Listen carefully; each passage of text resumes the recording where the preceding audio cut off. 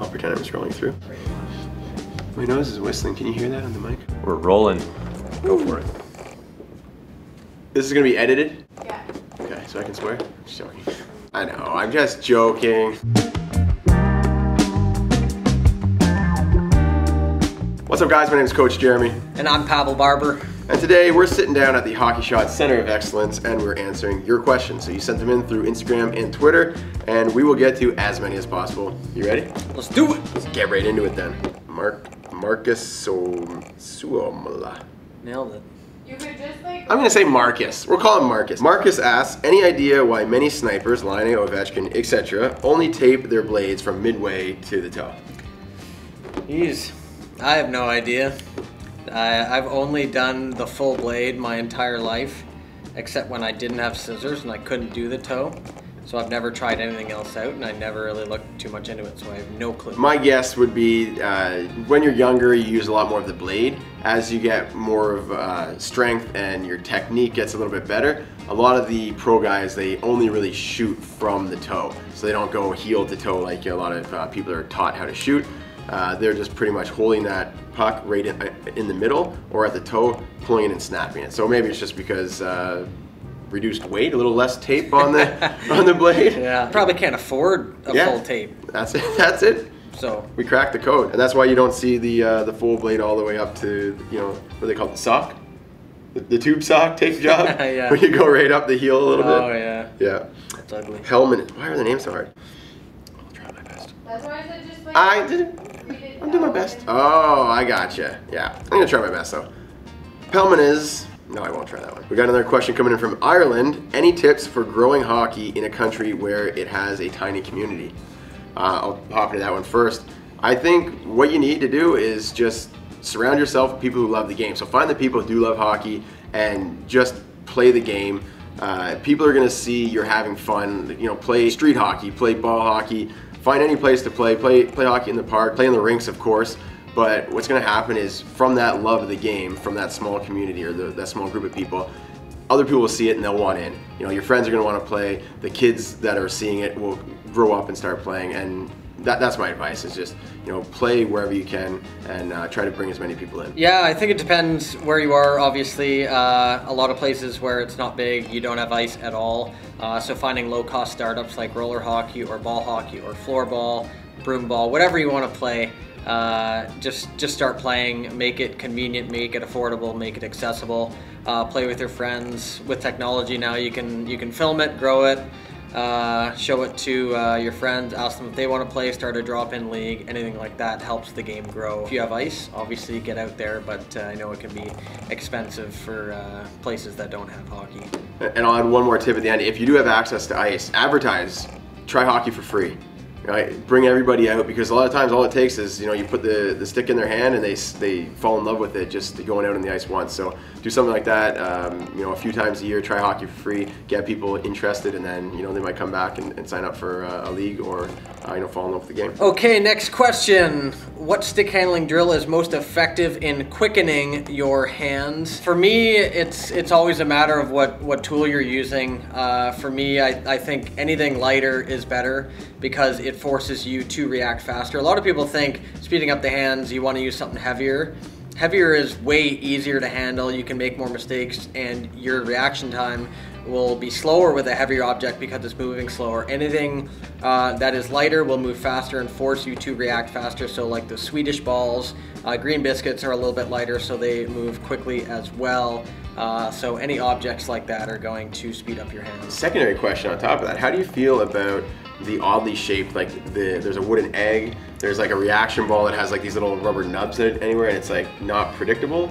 Yeah, I, I've never used it, uh, so I can't speak too much to that. Um, you know, obviously anything that's unpredictable and forcing you to react to it is good. I'm not sure, technically speaking, like getting the right angle of the blade to get on the right side. I don't think that'll help with those, but uh, maybe for uh, hand-eye coordination or, or reacting to something. Yeah, it's something that can be used as a, a tool, like something a small part of the training, but Yeah. you know, it's not going to uh, really be your main your main thing you're doing. Andre Yuri asks, "Where were you born?" I was born in Toronto, Ontario. And I was born in the hospital. Oh, uh, Newmarket, Ontario, and born. it was bad. Okay, don't put that. No, uh, born in Newmarket, and then uh, born and raised in Beaverton, Ontario, small town. Carl Johan says, "Which is your favorite NHL team?" Mine's the Anaheim Ducks. I grew up a huge fan of Paul Kariya uh, and Teemu Selanne, the dynamic duo, and of course I loved the movies and the TV show. They had a great TV show, cartoon series. I did not Watched it. tune into the TV show. You're missing out.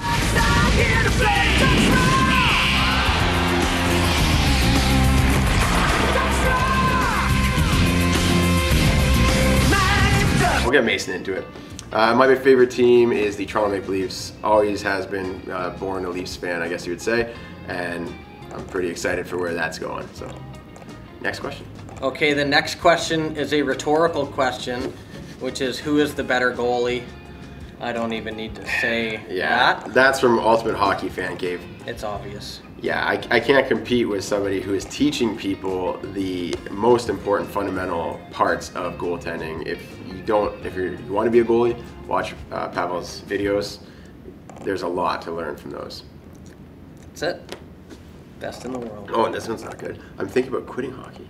What do you guys think? Do it. not for you. I can tell you, Tr- you're, try tennis. You're not good. We'll actually answer that seriously after this one. Yeah. King Mark 14 says, "What lie do you pre- yeah. King Mark 14 says, "What lie do you prefer for better stick handling?"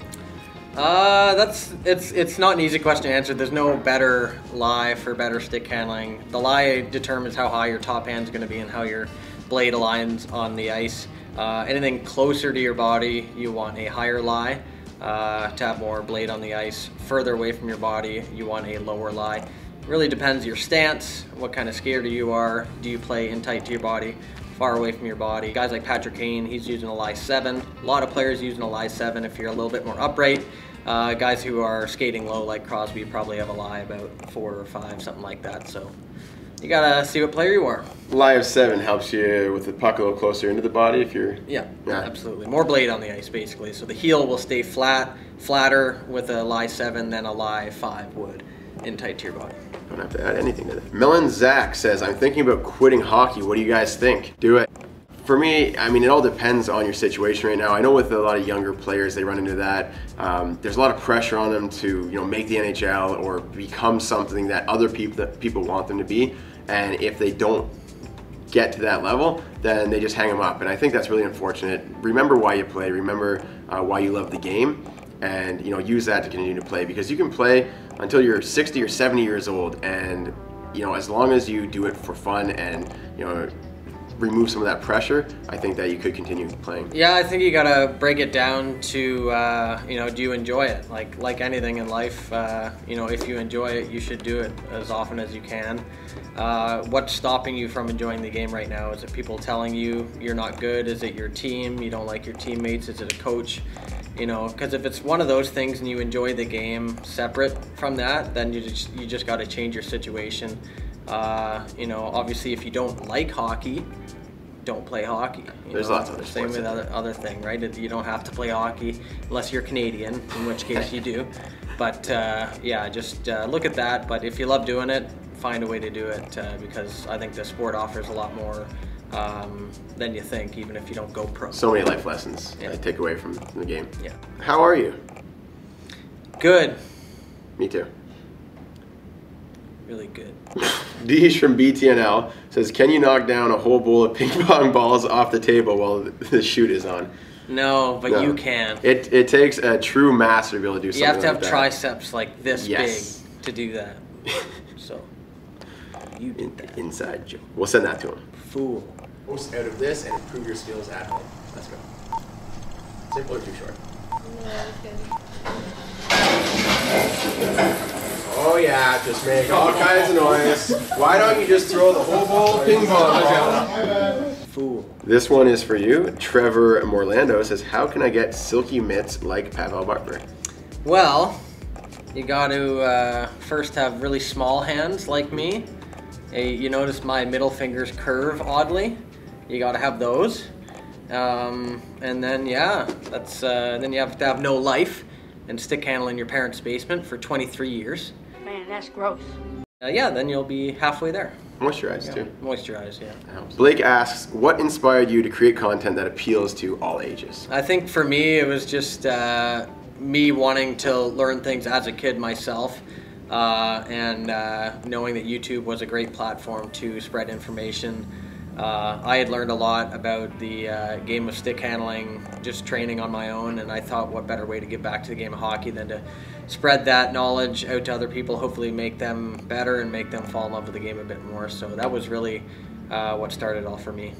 For me, it was just, it came down to things that I loved. I loved hockey, it was always a part of my life. It played a, a big role in my life, and I also liked helping people. And I was coaching at a local level, and I, I saw the things that um, I didn't learn until a little bit later in my you know playing career.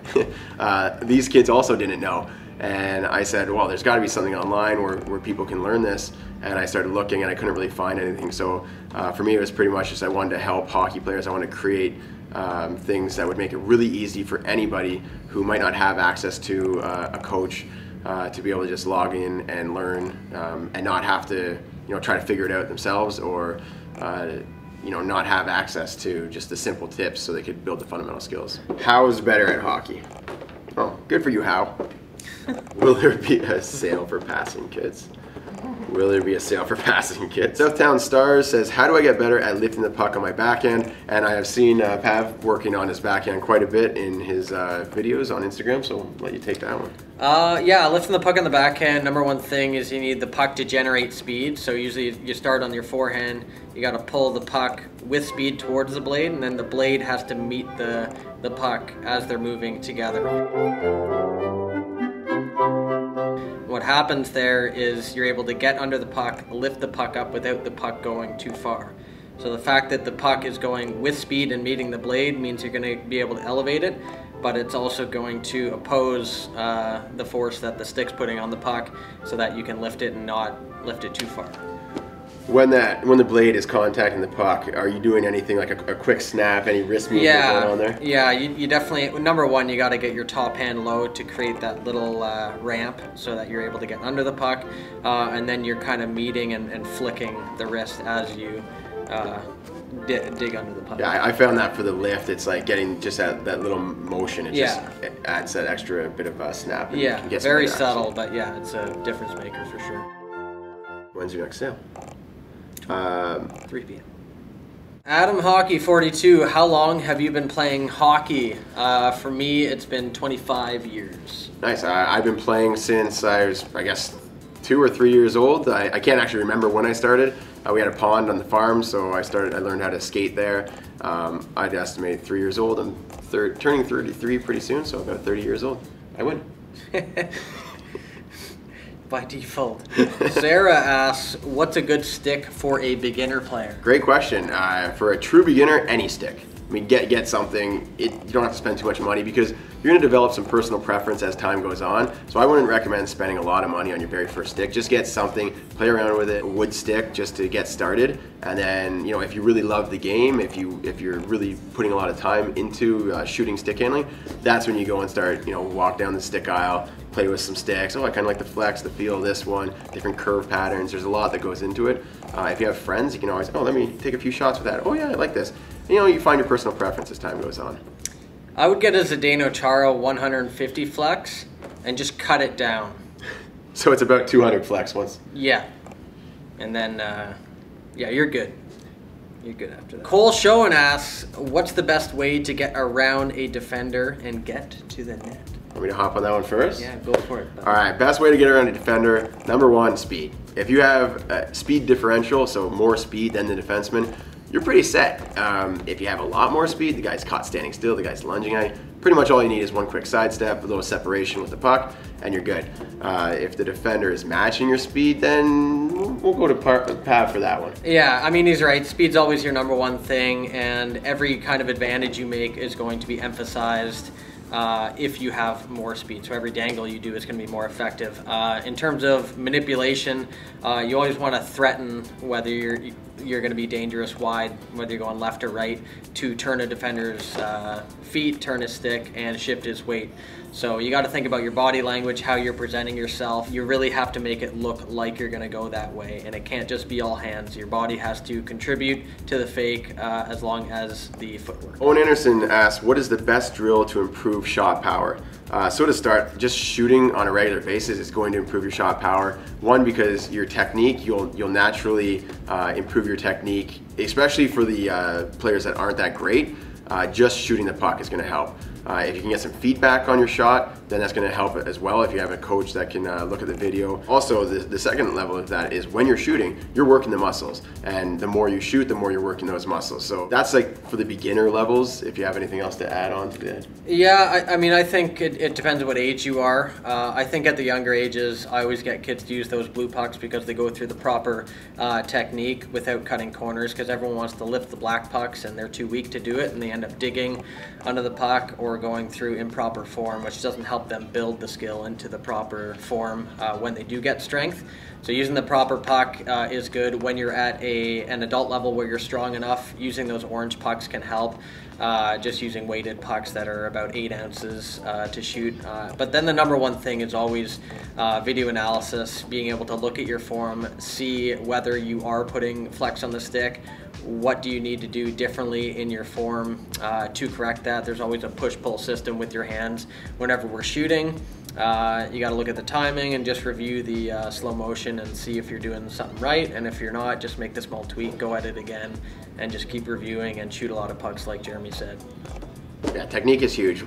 Your technique is going to account for, I'd say, a lot of your power. Once you get that technique down, that's when you can start building that strength, and then that will really take you up to the next level.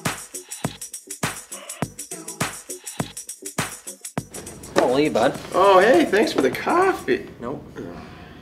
Let's hop into Twitter. We got some questions coming in here. Gibbs says, uh, when do we get to see an instructional video from both of us together at the same time? We've done one, We have done one. but we can do another one. We'll, we'll do some more. We actually we In fact, we have. we have we shot a few uh, a few months ago, so they should be coming uh, into your news feed at some point.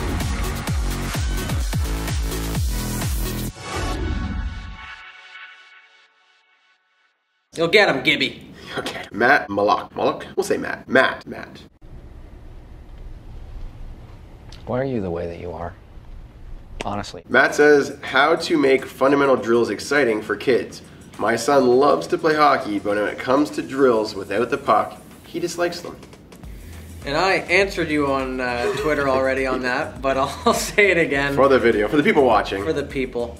Um, you always got to find a way to make it fun. I've found in my experience, especially with younger kids, timing them makes it really exciting because they love challenging themselves and they're always rushing to me saying, What was my time? What was my last time? And that way you don't have to tell them to push themselves. They're having fun uh, and they're not thinking about training. Uh, the second is to film them because kids love watching themselves uh, getting filmed. Then you can point out little things to them as well uh, when you see them uh, to help them get better.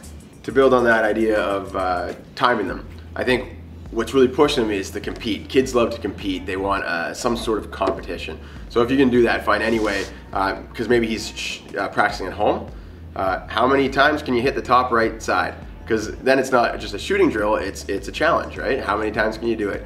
Uh, if you have people, if you're out on the ice, you know races, great way, like the obstacle course, right? Set the obstacle courses up, get them to race. You'll see kids go harder than they would ever go if you just said skate as fast as you can. You put those races there, they're going because it's it's for a reason, right? Give them a reason.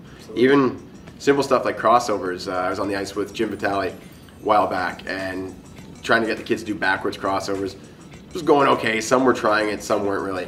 The second he said, count how many backwards crossovers you can do in a row, these kids, oh, I did six, coach. I did eight. I did nine. I did ten. So excited. Let's do it again. Just by adding that one little thing. So, yeah, give him, give them something to work for. Matt says thanks.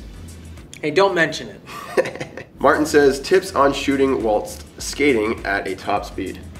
Okay, that's a great question. Uh, I would start at a slow speed, especially if you're just starting, and you got to start by practicing shooting off both legs. You never want to rush into it. You want to skate at a very slow speed. What I get people to do is actually skate, glide on two feet, and then hold, hold, hold, and then shoot off one foot. Once you get comfortable with one foot, then you take one stride and then shoot off one foot. Then you take two strides, then shoot off two feet, and just going, uh, trust the process and go that way. I like that. It's uh, you know get the fundamentals first, and and once you have that, you understand where everything feels nice. Then you just you know increase the speed. Uh, something that I like to teach is the sweet spot where the puck is released from. I think when you're going really quick, that puck might be coming outside of your sweet spot. It might be a little too far to the outside, a little too far in front of you, and you're trying to rush that shot off, not releasing it from that sweet spot. Maybe it's still too far back. So understand where that sweet spot is, where you like to release it when you're stationary or just going slower. Try to keep it in that sweet spot when you're at a faster speed. That might help a little as well. Tim says, how do you get that snap in a snapshot? For this one, about getting the hands away from the body, uh, get that leverage from the stick. The top hand has to come out and you're pulling back with that top hand, pushing with the bottom hand. I find that's the biggest thing for that nice snap. Uh, there's a few other ways to do it. Uh, two touch shot where you pull the puck in a little bit, the puck is actually coming off the blade of the stick and then you're snapping, pulling with that top hand, pushing with the bottom hand, getting that nice snap at the end. But really important to finish with that good snap and I do have a YouTube video for that. Uh? No, I think uh, it depends where you are, but just like Jeremy said, you want to create separation from the blade to the puck if you're not there yet and you're only comfortable with a wrist shot. Practice just having the blade off the puck and then meeting it in the snapshot. And then you can transfer that to having the puck on the blade, separate, and then snapping. Just go in that order, you'll uh, learn it faster, I think. Yeah, the guys that usually don't have that nice snap, they're, they're using most of their bottom hand or they're not really changing the tempo in their shot. It's the same throughout. Uh, so the video I was talking about, it's how to finish your shot. Um, and it just talks about that last little piece to your shot, which is that nice snap. So check that one out. Should help you out, Tim. Oh, Rebel 6 says, how do you hit and receive one? So Pat, if you want to stand right here, I'll just come flying in and hit check. Yeah, I can tell you how to receive a hit, but I've, I don't think I've ever thrown a hit in my entire life. Yeah, it's, it's been a good 15 years since I've, I've thrown a good hit. WSP says, average Joes can get golf swing help from a local expert. Where slash how can an average Joe get local hockey shooting help? Well, there are shooting coaches. Um, I know of a couple. There's Tim Turk. Uh, there is Shoot to Score. I love Shoot to Score's uh, stuff. He does some very good stuff. Um, but uh, I'm not sure where you are when you say local. So I'm not sure about that, but uh, be on the lookout. There are some shooting coaches. It is quite rare. Same with like stick handling specialists. It is a, a rare thing. It's up and coming. So uh, you might just have to go to uh, an overall like hockey uh, hockey skills guy. Um, but uh, do some research. You might have to get on a plane. I think for the local level, if, if you're a true beginner, you go out to pick up hockey, you go out to some uh, stick and puck as they call in the States, and just let the guys on the bench know that you're working on your shot. There's probably a couple guys that'll come and just give you a few pointers. Uh, it might not be super detailed, but it could be something that uh, can help you out. If you're looking for more of a specialist in shooting versus a, a buddy at stick and puck, there are guys who offer online help. So you can get a video of yourself shooting, you can send it into them, and they'll do a video, video analysis. They'll break it down, send it back to you. Uh, I think Tim Turk does offer that, and there's probably a few more if you search for it. Uh, so that, that could be something to hold you over until you hop on a plane and visit an expert. Next up, we've got Kev. He says, I'm a 37 year old guy with a beer belly and very average athletic ability. oh, Kev, you're on my hockey team. Uh, I want to play hockey. What should I do? Uh, yeah, I also answered this already. Uh, gotcha. I think the beer belly thing is quite irrelevant, especially in beer league. But any skill level, any age, uh, any belly size, there's a league for you. There's a team you could play on. Uh, you know, you should always play hockey if you want to play hockey. Uh, so find a league, find a team, do some research, uh, find one, get on the ice, and just enjoy the game add a little more to that, you know, call your lo local rinks and see what's available. Uh, the bigger centers, the cities, you're gonna have a, an F league, an E league, a D league, a C league. So like like Pav said, there's a spot for you. Smaller centers, not really the case. Sometimes there's just a league and it may be hard to get into, but there's usually something. There's guys that rent the ice, there's open hockey. So yeah, just get out there, start playing, meet some people, and if they like you, they'll invite you on the team. You're good to go. Bring beer that will help them in the liking side of things. Yeah. Hey guys, question for Pavel. When doing basic wide side to side stick handling, my son often loses the puck on the backhand side. It is the most difficult likely to shifting the weight in the hands and the properly. I hope you can help in the camp in summer next year. Whoa, you read that fast. Do you want to actually go into that one? I need to see a video. So. Yeah. Will How to Hockey ever come to South Africa? Book my ticket. Book my ticket. Get me a plane, send it over. I'm coming. I think. Oh, we did. didn't? Uh, Okay. No, yeah. Alright. Quiet. On the set, please. Quiet on the set. That's it. Send her. Security. French Slugger. Who's your all-time favorite player in the show? Uh, for me right now, it's Barzal. Uh, I was really into him when he was playing the World Juniors. Um, was impre- he was impressive. Very impressive, very confident with the puck. You know, he'd be last man back going through guys on the point. I thought he was very effective. Uh, obviously, his speed is very good, but his stick handling as well, his playmaking abilities, and the season he had with the Islanders uh, didn't surprise me. Uh, the guys just got all the tools, and uh, I really love watching that guy play. I think we should do past and present, so I'll go with a, a current player. I'm gonna take the easy way out and say Connor McDavid. Oh, one second, I got a call coming in, guys. Yeah, it's McDavid. I'm uh, gonna go the easy way out. Connor McDavid. Before McDavid came in the league. Hello? From where? Yeah, sorry, I don't have time to talk right now. Okay, bye. Before McDavid got in the league, I hadn't really seen any player that played the style of hockey that he plays. And since then, I'd say Barzal is the closest with the, the lateral movement, the creativity, the movement of the puck, and, and the skating. That's where it, he really sets me apart. Is uh, he's not just fast in a straight line. His lateral movement, his edge work, very deceptive uh, player. So I think he's a guy that has it all. Going to past players, favorite player when I was growing up was Pavel Bure. Explosive goal scorer, the speed, creativity. He, he sort of played unlike any other player. I got to go back to my past because I can't leave this out. Datsyuk, uh, I was obsessed with him. He's kind of the reason I started down this venture and learned a lot about stick handling from him and him creating new stuff every every game and uh, you know just being able to to learn every day watching a player who's making up different moves, finding different ways to manipulate defenders, especially from a guy who came in uh, way deep in the draft and became uh, what the NHL players called the hardest player to take the puck off of. Uh, it was it was really fun to watch his career uh, and learn from him. So Datsyuk, the goat. Great choice. What a guy. Great pick. Got a question coming in. Who has the best moves, Barber or Barkov? Uh, am I am I allowed to answer this? Or? yeah, I think you have to. It's- Oh jeez. Okay, it's hard to compare when you got a guy who's doing these moves in the NHL against elite goalies, and I'm doing against random goalies all the time. Uh, you know, he's he's obviously pulled off some create, creative moves in the NHL at a ridiculously high percentage, but I think there's definitely some moves I could show him.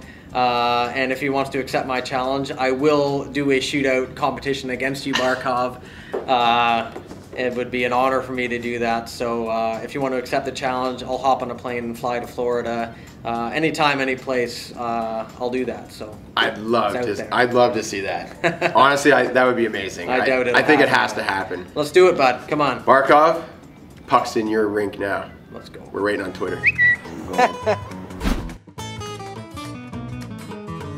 Barkov fell for it.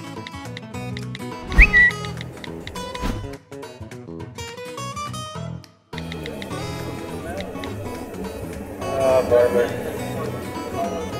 It was easy.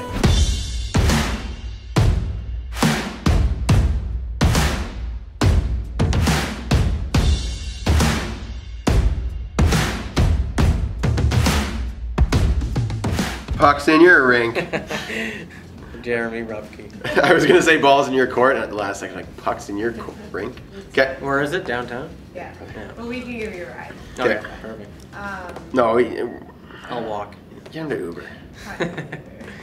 I want to listen to my music loud. All right, uh, 5:30, Pav. I think that's almost your bedtime. So we we got to wrap this up. He gets funnier, right? He gets funny.